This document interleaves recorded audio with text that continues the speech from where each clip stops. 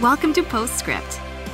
Here we hope to answer your questions and help you dig deeper into the messages and sermons at FaithBridge by talking with the teacher of the day.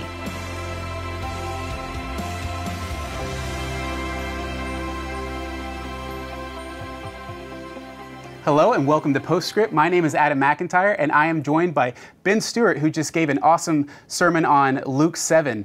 And uh, Ben, thank you so much for being here with us today. Really appreciate yeah. you being here. Be um, I want to start off with a couple just real quick, uh, quick questions based on the, the contents of your sermon. Yeah. Um, the first one was you gave a um, a really nice illustration at the end of this man who was a drug addict who was kind of sleeping by the river right. uh, Thames. And then um, quickly, could you go over who that person is again?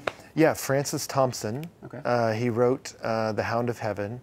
What I quoted was not The Hound of Heaven, but he wrote that. That's probably his most famous piece. Gotcha. And uh, I intersected with him through a book Ravi Zacharias wrote, Can Man Live Without God? Okay. Is how I found out about him. So Great. So that's that. Yeah. Francis Thompson. Great stuff. Francis, Francis Thompson. Thompson. Yeah. And uh, another quick question um, someone wrote in was asking if the anointing of Jesus in the book of Luke, Luke is the same anointing that he received uh, at Bethany that was mentioned in the book of Mark. Yeah, that's actually a common question because it shows up in Mark and John and mm-hmm. you know and uh, Matthew. So, uh, and there's things that are similar about it. Right. Jesus is anointed. He's at the house of a person named Simon. Right. It's a woman anointing him, but they diverge pretty pretty powerfully from there. That this one's clearly at uh, Simon the Pharisee's house. This one was at Simon the leper's house, which lepers can't be Pharisees. Right. One's at the beginning of his ministry, one's at the end. Um, and you go, well, Luke's roughly chronological. How do you know that? Well, this one, the emphasis is about the forgiveness of this woman who was known for being a sinner. Okay. This one is about uh, Mary, mm-hmm. and Jesus will say, This is about my burial. Right. Uh, and, uh, and so there's enough differences in what's happening in those two that you go, these are different moments. These right. are totally different moments. The Luke one, the Pharisees didn't want to murder him yet. They didn't like him, but right. it, it, moved from I don't like you to I want to kill you okay. about midway point in its ministry. So, so they're two different moments, uh, but that's a great question. Great.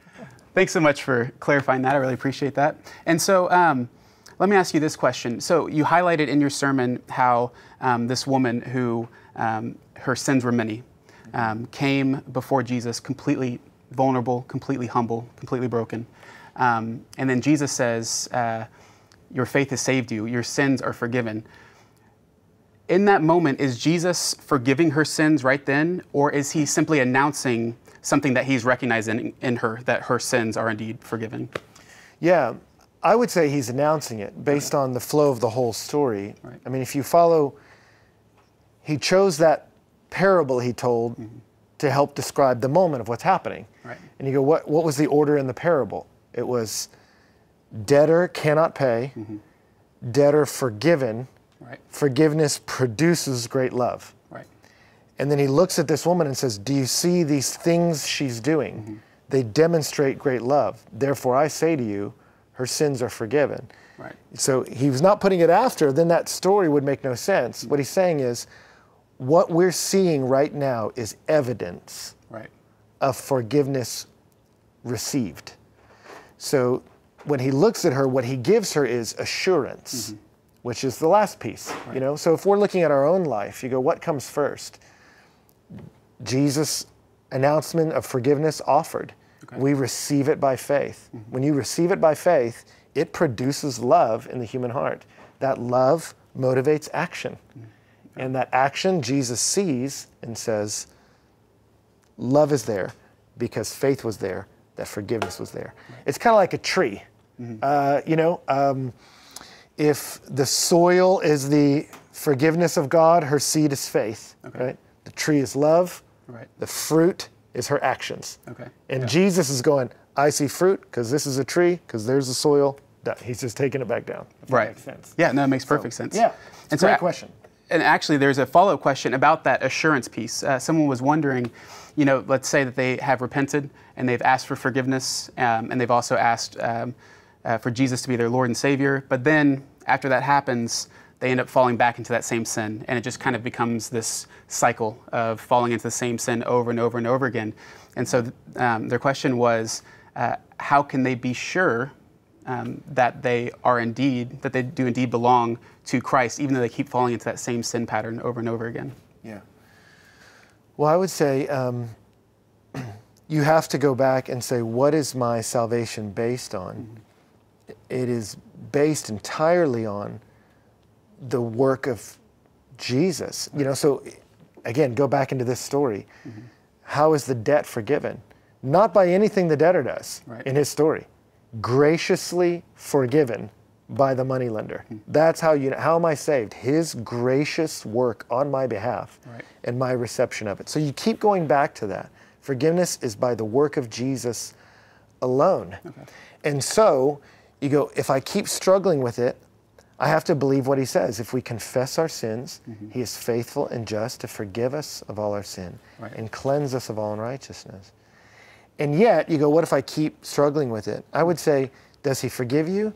Yes. Right. But we are meant to repent. Mm-hmm. One of the fruits of forgiveness is a changed life. Right. And so you have to ask yourself, um, have I repented? Or do mm-hmm. I just know, ah, I know he'll forgive me and then I can just keep rolling along my merry way? Right. That cheapening of grace mm-hmm. shows that you never understood your sin in the first place. Right. You're missing that piece of, I believe I'm really this bad mm-hmm. and I believe I need to be saved. So I would go back to, do you even understand how deep the stain goes? Right. But then I would also point you to James. James says, confess your sins one to another mm-hmm. and pray for one another that you may be healed. Right. And that's where I see a lot of people is they'll struggle with a sin, want it out of their life. Mm-hmm. They ask God for forgiveness, right. but they keep doing it. Right. And, uh, and it steals their assurance because mm-hmm. they don't see the fruit, so there's no assurance. Right. And they go, So am I not saved? You go, Well, you have no assurance mm-hmm. of your salvation because you're not seeing outworking.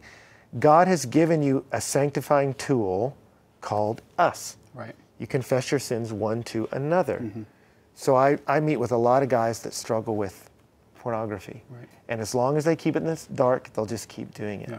But when you tell them, you have to confess it to me, right. and you repent it with me, mm-hmm. not to get forgiveness, but to change, right. that, that begins to get it out of their life. And their assurance rises. Yeah. That they really were forgiven back then, because now they're seeing it work out in their life. But don't neglect the grace God has given his children, namely, the body of Christ. Right. And so that's where I said repentance, sanctification, it's a team sport. Absolutely. So if you're struggling over and over again with the same sin, it might be because you're struggling with it in the dark. Mm-hmm. And uh, we're only as sick as our secrets. So you need to confess to us. Absolutely. Well, and that also helps uh, too with people who maybe are blind to certain sins that they have in their lives. Just uh, being in that community constantly helps to kind of cover those blind spots. Absolutely. And then you mentioned in your sermon too how uh, one of the issues with Simon the Pharisee and with a lot of other people um, who just can't quite grasp the depth of their sin um, is pride, and a lot that pride can blind us um, to yeah. what's to, to what's really going on. Um, in our lives and our hearts.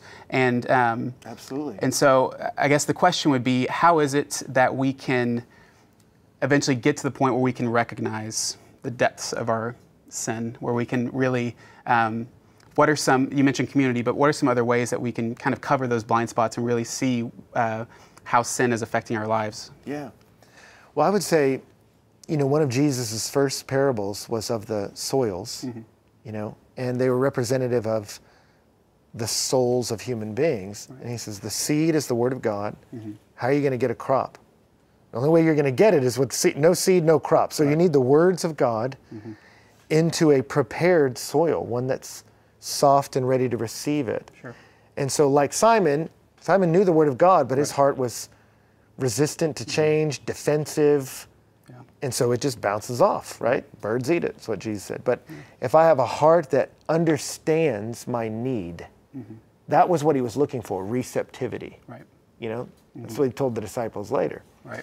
Um, so what I do is I, I come to the Word of God knowing um, to understand the depths of my sin and need for grace, I can navel gaze and look at myself. I can do that. Or I can come to the Word of God because when you see God for who He really is, it'll right size you. Right. But I know if I just come to the Word of God, it can just be food for my arrogance. And so I have to come like the psalmist did and say, Lord, open my eyes that I might see wonderful things in your law. Right. He prayed that. What's the assumption there? The wonderful things are there.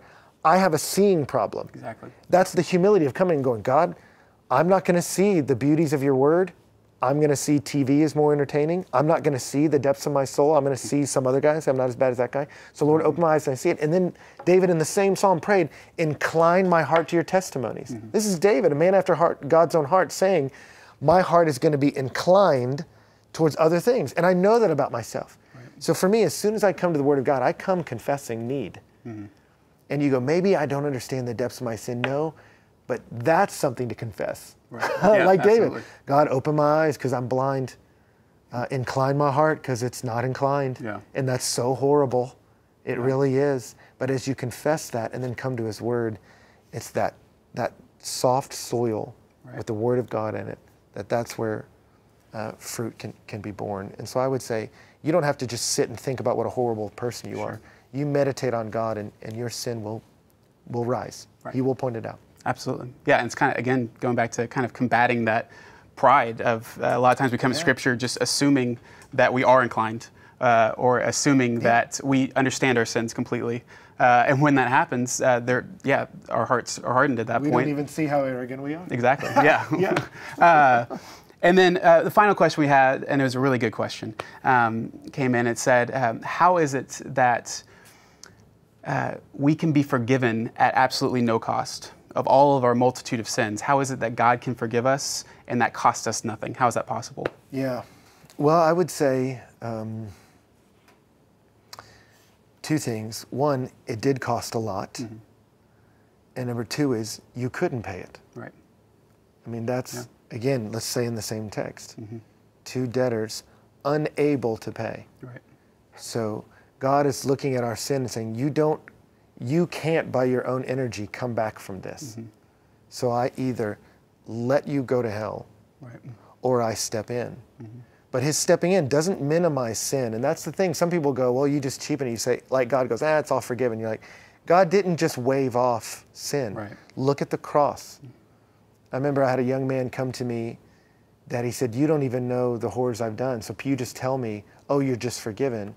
I said, no one's saying, oh, you're just forgiven. Right. I said, go back and read about Jesus' crucifixion. Mm. That's how much God hates sin. Right. That it required the brutal death of Jesus mm-hmm. to pay for it. Mm. That was the payment. So does God take your sin lighter than you? No. Right. He hates it much more than you. Mm. But you couldn't pay it. And so God, in His love, sacrificed His Son for you. Right. And that's where when you understand how much it did cost yeah. uh, and that he was willing to pay it, right. those two things together, the understanding of my need and understanding of his grace, how can it be? It Absolutely. produces worship, it produces love. That's the point of this text. So it's a great question. Absolutely. And uh, when you understand those things, it will change you.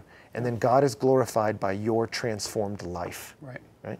Yeah, exactly. When we fully understand that, that's what leads us um, to look more like the woman um, in Luke 7 and less like Simon the Pharisee. Oh, yeah. Right. He changes you. And then you become a worshiper and a servant, mm-hmm. but it's all of grace. Right. You're not earning, you're celebrating. Absolutely. Yeah. Well, Ben, thank you so much sure. for being here with it's us fun. today. And thank you all for tuning in. We will see you all next week. Thanks for joining us for Postscript. Help us keep the podcast interactive by submitting your questions during the morning services. Learn more at faithbridge.org/postscript.